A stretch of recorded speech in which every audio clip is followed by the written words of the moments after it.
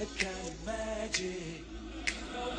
One dream, one soul, one pride.